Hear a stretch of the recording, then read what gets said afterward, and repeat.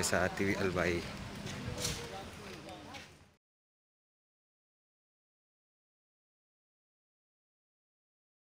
Dito guys, kaya magtatawid kami sa ano, bababa kami dito sa bundok gamit ang tali para makalipat kami doon sa kabilang barangay. So yan, hindi na tayo makakadaan.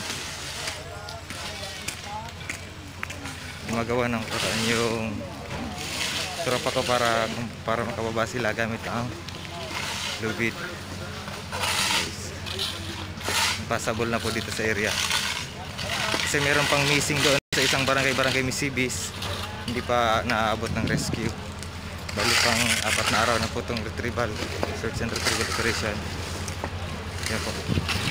Tat- Tatawid po tayo doon. Yan, yan na. Ayan yan.